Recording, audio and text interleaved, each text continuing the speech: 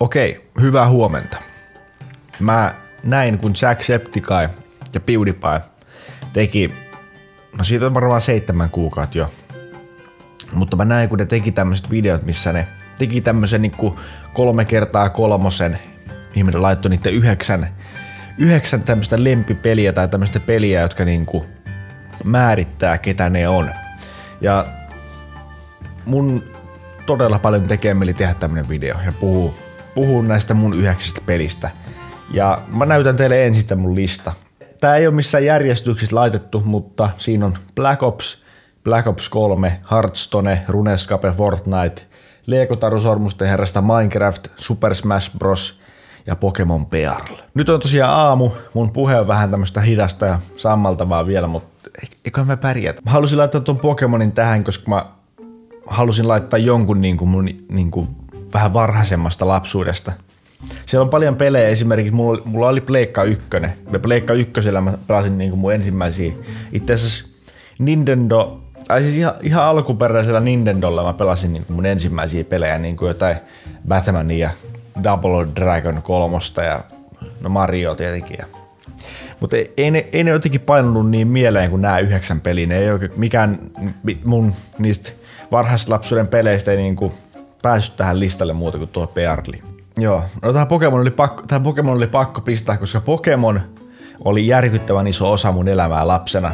Meidän perheessä oli siihen aikaan niinku kolme lasta, ja sitten oli mun serkun perheessä oli kans kolme lasta, ja sitten oli oltiin kohtuu samanikäisiä kaikkia. Sitten alussa meni silleen, että niin serkuilla oli vain DS ja Gameboyt, ja me pelattiin niiden Gameboylla ja näillä Pokemonia mutta sitten kun mä sain oman, niin sitten se meni siihen, että pelattiin vaan jatko, ihan niinku Pokemonin pelaaminen on, siis mä, mä en muista milloin mä pelasin tätä, mutta mä olin varmaan, ihan varmasti joku seitsemän tai kahdeksan, kun mä sain to. Niin mä, mä olin pelannut tota ennen niitä jo Game Boy, niitä vielä vanhempia, niitä ihan Red ja Blue ja mitä ne Pokemonit on, mutta tää oli, tää oli, tää oli mun mielestä ensimmäinen Pokemon, minkä mä itse sain, kun mä sain DS vasta vähän, vähän jälkeen. Mutta sitten kun mä sain sen, me oltiin mummolassa, niin me pelattiin aina aina yötä myöten ja sitten mummo tuli aina tunnin välein yöllä silleen. Avas oven, me mentiin peittoalle, esitettiin nukkuvaa. Mummo huusi meille, että miksi siellä on nukkumassa ja sitten kun se lähti, niin sitten taas peiton alta ulos ja alettiin nä- jatka, jatka, jatkettiin näpyttämistä. Tai me näpytettiin ensi peittojen alla niin kauan, kunnes tuli liian kuuma, sitten me otettiin vasta peitto pois ja jatkettiin siinä. Mutta mä uno, unohin sanoa, kun mä tuota Pokemon-juttua tein, mä nyt haluan lisätä siihen, että Pokemon oli pel- niin kuin ei pelkästään toi noi pelit ollut tärkeitä, vaan oli myös se animaatiosarja totta kai. VHSllä katsottiin. Oli Pokemon chippejä, oli Pokemon kortteja totta kai. Oli, oli kaikkea Pokemoniin liittyvää, mitä keräiltiin. Ja legendaarisi juttu, mitä mä uskon, että ei varmasti enää lapset tee nykyään. Me, me tradettiin me niinku vaiheltiin Pokemon kortteja koulun pihalla aina välkällä. Ja tää oli siis tämmönen asia, mitä koko koko koulu teki, niin oikeasti koko koulu. Kaikilla oli jättipinkka Pokemon-kortteja. Ja sitten me mentiin sillä niin, se oli vähän niin kuin jotain, se oli vähän, se olisi vähän niin kuin olisi ollut jossain Wall Streetillä, tiedättekö? Kävelee siellä niin kuin Wolf of Wall Street, iso pakka Pokemon-kortteja kädessä ja treidaa. Saat nää kymmenen korttia tosta yhdestä kortista. Ja sillä se oli jotenkin supereeppistä. Te, te, te, tehdäänkö tämmöistä enää? En usko, kun nyt oikeasti nämä kaikki puhelimet, puhelimet ja kaikki, niin ei, ja Pokemon-kortit ei mun mielestä, ei, ei ne ole niin ines kuin silloin enää. Ja mulla, mulla on semmoinen fiilis, että niin kuin, mä, mä oon syntynyt täydellisenä aikana. Niin kuin, mä oon elänyt silleen niin kuin lapsuuden ilman teknologiaa, ja nyt mä oon, niin kuin, mä oon päässyt tähän teknologiaan kasvaessa niin kuin mukaan, ja tähän mä oon saanut tämmöisen nykyaikaisen työn. Silti mä oon elänyt niin semmoisen lapsuuden ilman kaikkea tätä somea ja kaikkea. Ja mä oon tosi iloinen siitä. Saa nähdä, kun teistä kasvaa mun ikäisiä, että millaisia te ootte. Onko tämä vaikuttanut teihin tää, että te alatte kuusivuotiaana käyttämään somea ja teillä on kolmevuotiaana älypuhelin ja en tiedä. Black Ops 1 oli järkyttävän iso osa mun lapsuutta. Se oli ensimmäinen Pleikka kolmospeli, mitä mä ikinä pelasin. Mun yhdellä kaverilla oli siis, oli saanut Pleikkarin en mä tiedä mistä se sai synttärilahjaksi varmaan tai jotain, mutta sitten me mentiin niille ja se oli saanut tämmöisen uuden pelin kuin Black Ops.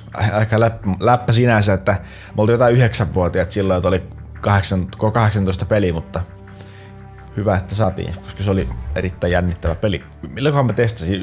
Varmaan varmaan just 90-vuotiaan ensimmäisen kerran. Ja toi oli oikeastaan ainoa peli. Toi, toi oli oikeastaan ainoa peli, mitä tuli pelattua koko aika siihen asti, kun mä sain Pleikka nelosen.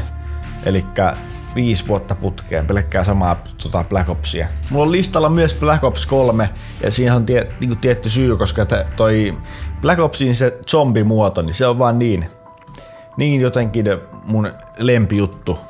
Et en mä tiedä, mulla oli pakko laittaa molemmat Black Opsit sinne, ykkönen ja kolmonen.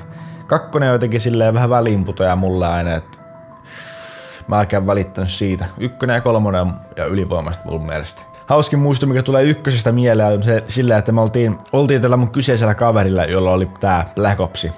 Ja me, sen isoveli oli jossain. Ja me päästiin sen isoveljen huoneeseen nukkumaan ja siellä oli TV. Niin kuin, oh my god, päästiin nukkumaan huoneeseen, missä oli TV. Silloin plus 10 vuotta sitten niin joka huoneessa ei kyllä ollut TVtä. TV oli sen verran kalliita, että oli pelkästään niin kuin yksi TV yleensä talossa. Ja No kuitenkin, silloin oli semmoinen todella, siis oli todella pieni kyllä semmoinen niin kuin 10 tuumainen putki TV varmaan, mutta päästiin, sinne, päästiin sinne huoneeseen ovi kiinni. Sitten laitettiin meidän kaikki vaatteet ja kaikki lakanat myttyyn siihen niin kuin oven alaraon eteen sillä, että ei mitään valoa menisi sieltä niin kuin sinne. Jos vaikka sen äiti näkisi, että sieltä tulee valoa. Niin laitettiin siihen, se näytti, että me ollaan siellä nukkumassa ja sitten oltiin mahdollisimman hiljaa vaan ja pelattiin koko yö, all nighteri. Se on aika yleinen teema varmaan kaikissa näissä peleissä, että tullut vedetty joku all nighteri. Melkein, melkein kaikissa näissä peleissä on joku semmoinen tietynlainen tilanne tai tietynlainen joku, joku pelannut joku kanssa, joku kaverin kanssa, mikä tavallaan tekee näistä mulle spessupelejä. Että nämä oikeastaan niin peleinä itsessään ei välttis, välttis on niin, niin hyviä, mutta mulle ne on niin hyviä.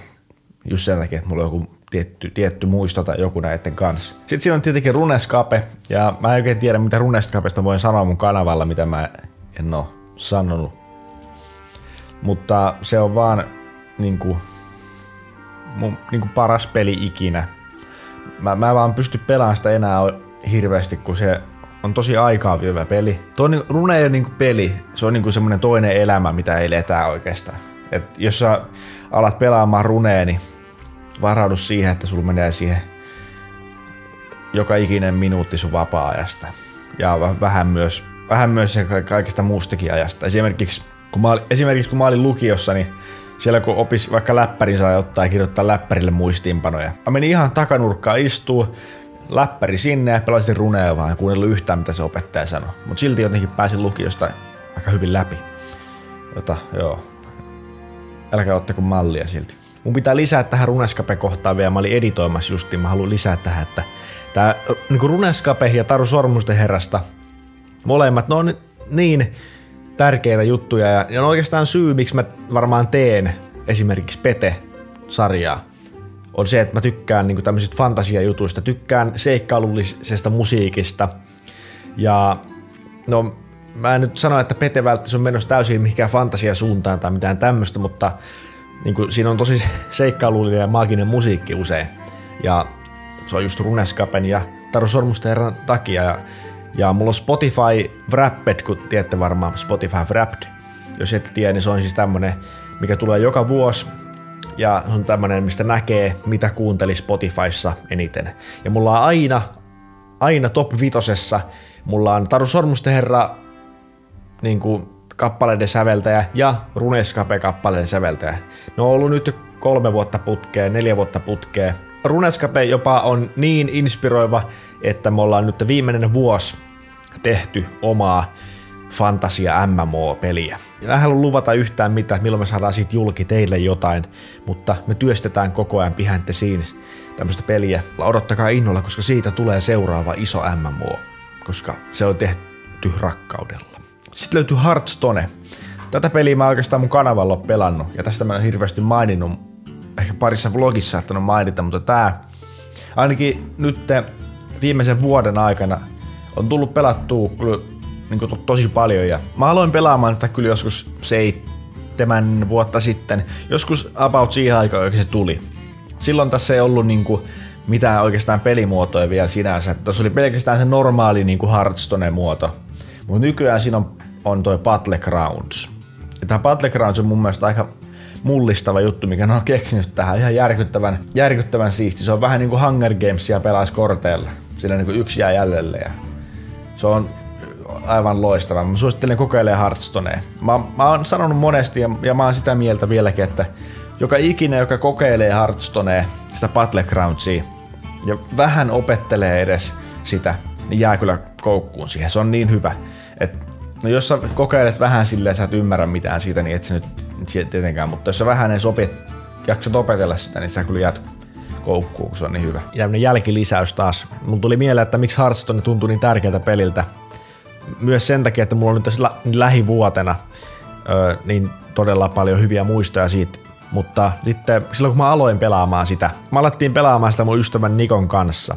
Ja tää oli ensimmäinen kunnon semmonen yhteinen juttu mun mielestä, mitä me tehtiin Nikon kanssa. Ja mä, ja mä muistan ne talviset loskaset päivät, kun tultiin koulusta, oli pimeä ulkona, mutta oltiin sisällä lämmössä ja pelattiin Hearthstonea. Ai että. Ja sitten siinä on, se, sit siinä on, sit siinä on ne musiikit ja sitten se tyyppi, joka sanoo, että tervetuloa lämpimään tavernaan ja kaikkea, niin se on jotenkin niin, se on niinku, niin, se on semmoinen kunnon niinku welcoming peli, semmoinen oikein niinku tervetuloa, kun sä avaat sen. Niin mulla on jotenkin lämpimiä, lämpimiä muistoja siitä. Oli pakko laittaa Fortnite tänne. Mä mietin, että laitaks mä Fortnitein, mutta en mä oikein keksinyt mitään tärkeämpää tilalle. Fortnite on kuitenkin ollut kans iso osa mun uraa. Et miksi miksi mä oon niinku tässä nytte, miksi musta tuli niinku suomalainen niinku tubettaja. Petelle tuli tehty tosi paljon Fortnitea. Silloin alkuajoilla jo mä tein jo Jonakselle tosi paljon Fortnitea. Ja mä suosittelen itse katsoa niitä. Mulla on joku Fortnite-soittolista mun kanavalla vissiin, niin siellä on mun vanhoja Fortnite-videoita silloin ihan alkuajoilta, niitä kulta-ajoilta.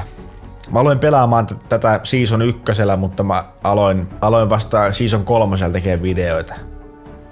Mutta joo, tää oli kyllä ihan mullistava peli. Tämmöistä ei aikaisemmin ole ollut. Tämmöistä, missä pysty, se oli niin siisti, kun pystyi rakentaa, pystyi menemään mihinkä halus. Nyt, nyt se rakentaminen meni kyllä, tai nyt se, nyt se rakentaminen on mennyt sellaiseksi, että se on tärkeämpää kuin ampuminen tässä pelissä, että jos sä et osaa rakentaa, niin sä et voi voittaa mitenkään, niin se on vähän... Tuossa on joku pelimuoto kyllä nyt, että ei tarvitse rakentaa, mutta mä en ole kyllä enää enää niin kiinnostunut Fortniteista kuin ennen. Mulla, mulla on tämmönen idea ollut, mikä tois Fortnitea tosi paljon lisää pelaajia. Fortnite pitäisi tehdä kans vähän niinku tämmönen Fortnite Classic. Tämmönen muoto, missä niinku pelattaisiin jotain niinku Season 3 tai pelattaisiin Season 1. Niillä samoilla bugeilla ja kaikilla. Ja ka- se, se olisi niinku Season 1 täydellisesti. Siinä ei olisi mitään niinku päivityksiä. Se olisi Season 1, Fortnite Classic. Tähän listaan oli pakko laittaa yksi Lego-peli. Ja mä valitsin Lego Taru Sormusten herrasta. Ihan vaan niin sen takia, että mä rakastan Taru Sormusten herraa niin paljon ja mulla on yksi tietty muisto, mikä on kiinnittynyt tähän Lego Taru Sormusten herrasta peliin ja se on sen takia niin se on tosi spessu. Periaatteessa Lego Star Wars olisi kans voinut olla tossa, mutta, mutta joo. Mä laitoin tän tähän siksi, koska mä muistan, mä en ollut kuullut, että tämmönen on, on edes tulossa. Mä, selaisin, mä selailin Pleikka kolmosen storee silleen, että mitähän täällä on. Siellä oli Lego Lord of the Rings demo. Ja mä ajattelin, että no, no mitä, mitä vitsiä. Mä tykkään niin paljon näistä leffoista, niin ladataan nyt tosta demo. Latasin demon ja heti kun mä käynnistin siellä kuulin ne musiikit, siinä, siinä demossa oli Helm's Deep missioni. Ja sitä, sitä kun mä pelasin ja kuulin ne musiikit, ja näin, että siinä oli ääninäyttely. Siinä oli leffoista laitettu näitä niin kuin linjoja, mitä ne puhuu nämä näyttelijät. Niin mä olin silleen, että voi vitsi, mä katoin paljon, mulla on lompakosta rahaa. Ja mulla oli just joku 6 tai 70. Olisikohan mulla ollut 70 tai jotain. Mulla oli just ollut joku synttärit tai jotain. Tai mä olin just käynyt mummolla luuttaamassa rahaa täytä. En, en käynyt siis varastamassa mummolta, vaan aina kun mä menin mummolle, niin mummolta 20, niin jos mä vaikka menin sinne joka viikko, niin se oli aina 20, niin mummolle kannatti aina mennä. Mut joo, Hyvinkään oli silloin vissiin GameStoppi vielä. Mä lähdin suoraan GameStopin mun vikoilla rahoilla. Otin Lego Taru Sormusteera hyllystä, pää ja vikoilla rahoilla ostin. Jäi varmaan joku pari euroa just jäljellä ja sitten mä kävelin kotiin ja pelasin varmaan yhdessä tai kahdessa päivässä läpi. Mä niinku randomin löysin ton demon. mulla oli just rahaa käydä ostaa se peli. Niin kuin mikä chanssi, että mä en ollut käyttänyt niitä rahaa johonkin muuhun peliin vaikka. Tietenkin penskana joka ikinen kerta, kun sulla oli 70 silloin, niin uu, se oli saman tien uusi peli. 70 tarkoitti uutta peliä. Kyllä mulla oli semmoinen aika mehevä stäkki Pleikka kolmospelejä kyllä sitten lopuksi. Tota. Ja, okei, öö, joo, unoihin puhua Minecraftista kokonaan tässä videossa, niin taas jälkeenpäin pitää lisätä, mutta joo, sanotaan tähän Minecraftista pari sanaa. Se oli kyllä no-braineri tälle listalle, se oli pakko laittaa, koska sehän on niin kuin, varmaan peli, joka, jolla on niin kuin isoin vaikutus ollut mun uran kulkuun. Mä olin onnistunut saamaan jo kohtuu paljon tilaajia ilman Minecraftia. Loppujen lopuksi Pete ja mun vlogit oli se, mikä niinku teki, musta, teki musta sen tubettajan kuin mä oon nyt, mutta Minecraftilla oli kyllä iso vaikutus. Ja Minecraftia sitä on kyllä tullut pelattua ja ei ole kyllä olemassa samanlaista peliä kuin Minecraft, missä pystyisi rakentaa mitä haluu. E- ensimmäisen kerran pelasin Minecraftia joskus 2010 koulussa ATK-tunnilla. Siellä oli jossain jossain koulun tämmöisessä ohjelmassa oli Minecraft jostain syystä. Mä en tiedä, että miksi se oli siellä, mutta siellä pääsi pelaamaan Minecraftia ja sitten oli Minecraft Play for Free, missä pääsi pelaamaan jotain vanhaa Minecraft-versiota. Kaikista eniten mulla on legit ollut hauskaa, kun mä tein alkuperäistä Pete Minecraftia. Se oli vaan niin jotenkin eeppinen, siinä oli niin hyvä tarina. Se oli tosi paljon inspiroitunut se, että mä aloitin sen niin se oli tosi paljon inspiroitunut PewDiePiesta. Ja sen kyllä niinku huomaa siitä, se oli hyvin samanlainen semmoinen fantasiamusiikit ja mä puhuin niille eläimille ja se niinku oli semmoinen se oli enemmän semmoinen tarina, kun mä pelasin sitä, en mä pelannut sitä peliä normaalisti siinä ja sitten Pete-hahmo oli just semmoinen jännittävä uusi se vanha Pete Minecraft, se oli kyllä legendaarista. Ja mä tykkäsin tosi paljon ja kaikki odotti tosi paljon seuraavaa jaksoa ja mä olin innoissaan tekemässä seuraavaa jaksoa. Ja mä en nyt oikeastaan kiinnosta Minecraft enää yhtään. En tiedä, tuunko tekee hirveästi enää ikinä mitään videoita siitä tai mitään, mutta joo, saa nähdä. Viimeisenä sitten vissiin Super Smash Bros. Ultimate. Jos seurasitte 2020 mun mahtavaa daily vlogia, silloin kesällä, kun mä muutin ekaa kertaa omaan kämppään ja kaikkea. Oli jännittävää. Mitä mä tein mun joka ikisessä vlogissa? Pelasin Super Smash Brosia. Ei kun joo, vuosi ennen sitä, kun mä tein Jonas Vlogs ja tein vlogeja sinne. Tän muistaa pelkästään ain, aidot OG. Niin mitä mä tein siellä? Pelasin Smashia. Niin jotenkin siellä muistoissa siellä vanhassa kämpässä. Pelattiin Smashia silloin, se oli niin hyvä kesä. Silloin kun mä muutin eka kertaa omaan asuntoon ja blogasin. Mun ura lähti vähän niin kuin nousuun. Mä just tein Pete-kanavan silloin ja se oli jotenkin niin, niin jotenkin täydellistä ra- rauhallista aikaa elämästä. Että. Joo, mä kuvaan tällä pikselisti tällä Facecamilla, kun mä nyt jaksa venkslaa muistikorttia koko ajan. Mä unohin taas, oho, tarkennan. Kiitos kun, kiitos kun katsoit ja kuuntelit. Tästä tuli mun mielestä aika kiva. Mä niinku tykkäsin tosta, kun mä editoin tätä nyt, niin mä tykkäsin tästä. Tota, joo, toivottavasti tulee taas nyt enemmän videoita. Mä oon niinku innoissaan tekemässä näitä, mutta sitten mä teen paljon sitä peliä ja mä teen peteä ja kaikkea, niin se on niinku... Tää tarkennan nyt taas. No joo, ihan sama, ihan sama, ihan sama, vaikka tykkää videosta.